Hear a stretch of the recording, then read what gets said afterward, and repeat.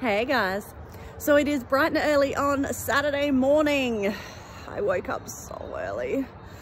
But it is going to be another really hot day and the last couple of days or the last couple of weeks, sorry, have been really hot on the weekends to the point where I just haven't achieved anything in the garden because it's just that kind of energy sapping hot.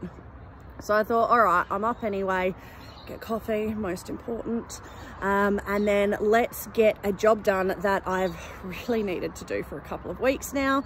Um, if I get that done this morning, uh, then I can sit inside in the air conditioning when it gets hot this afternoon.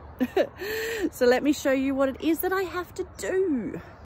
So the job today is to dismantle the veggie patch. Now, as we know, I was going to grow out here this year, but the ground was shit, so I grew in pots, which was fine. I set up the irrigation, um, it was looking after itself. I got a couple of great harvests of tomatoes. A couple left, but a lot also just kind of got left on the vine because to be honest guys, I was a little bit disheartened by the fact that I couldn't do what I wanted to do, which was grow out in the ground. But that's fine, that's part of gardening. Chilies are still going strong. These plants will stay here for now. Um, but what I'm going to do is just take the last of the harvest of the tomatoes and then compost the vines. I can then turn the water off. I did just get my water bill. It was not pretty, but it was also not as bad as I thought it would be. But I mean, there's no need to water these vines anymore. So we'll turn them off, we'll compost, nature's ultimate form of recycling. And I'll show you how we do that.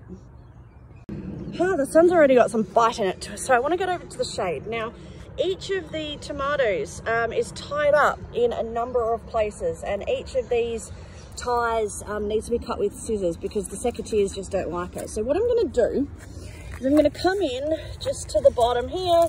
I'm going to chop off the vine just at soil level, take the stake out and then pop them in a big pile over here.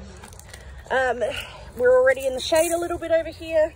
Then uh, once I've got them all here, I can snip each of the ties off and start shredding. I love this thing. I bought this on Gumtree um, a couple of years ago now, and it is amazing. Anyway, a bit more coffee, and I will keep doing that so I get out of the sun real quick.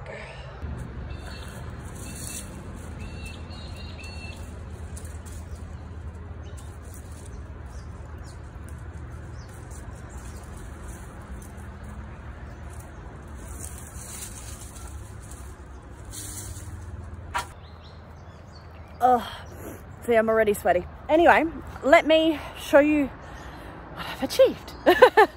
For this sweat is really indicative of the weather, not of my level of fitness. I go to the gym like three times a week. Anyway, let me show you. So I now have a very large pile of tomato vines and my pile of hardwood stakes. Hardwood stakes are great because, I mean, I will just pop these in my shed and they will be great for next year. So now I'm going to turn on the shredder and pump these through.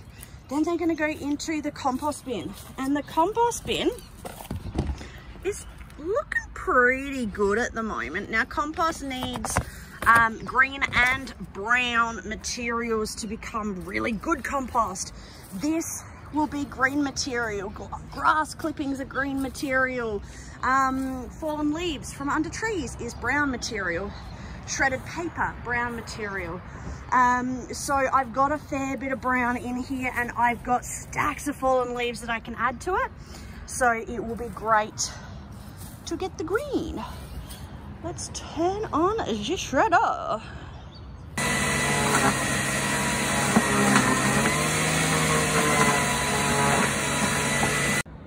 So how about that? All of those tomatoes have fit into this bucket here. And now this bucket here will go into the compost bin. And literally, that's it, my friends. Um, I will give it a quick turn. So I have this really cool um, circle thing that happens. And what you do is, it's a bit hard to do with one hand, um, you twist the screwdriver down into the ground and then you pull up and that gives your compost bin a good turning because you should turn your compost bin every now and then. You can see that I'm with doing this, I'm mixing the existing compost and the new tomato stuff all together. The existing stuff underneath is looking great. This is going to be amazing. A bit later on today or maybe tomorrow morning when it's cool again, I will get some leaves and put them in here to get some brown material. So give it all a twist, give it all a bit of a turn, stick the lid back on, and we're done. But ultimately, guys, this shredder and I don't know, half an hour of my time turned all of that green waste. Instead of going into landfill, it's turned it into beautiful compost and it hasn't filled up my green waste bin. There's a few little things left. I'll probably just chop these guys up into some smaller pieces. They'll be a bit hard to go through the compost bin. I will move, harvest the chilies that are left um, and then determine if I want to move the plant.